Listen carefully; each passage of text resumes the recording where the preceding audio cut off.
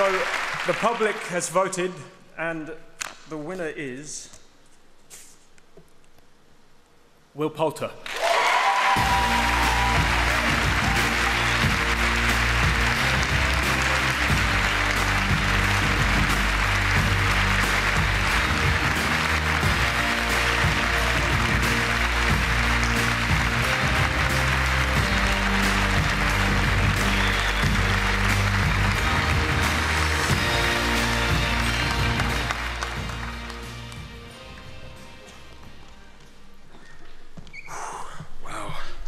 Um, start with the cliche. This is a bit of a surprise. Um, thank you so much. Um, I almost cried watching other people go up and get their awards. I'm famous in my family for crying watching Finding Nemo uh, with my dad.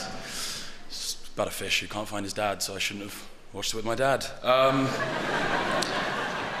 it's my fault. Um, genuinely, uh, this is such a huge honour, and uh, I'm so grateful to BAFTA and EE uh, especially uh, an honour given that it's in part voted for by the public to everyone who voted. I am so, so grateful. And what makes it really, truly special, and I know this is said a lot, but this category and, and being considered among you, Lupita, George, um, Léa, um, sorry, I'm forgetting names now, this is awful. Yeah, Lupita, George, Léa, please, sorry. Dane, Dane, who I love, sorry. Um, I'm very nervous, Dane. I'm sorry, man. Um, I'm genuine fans of all your work. Uh, you're amazing.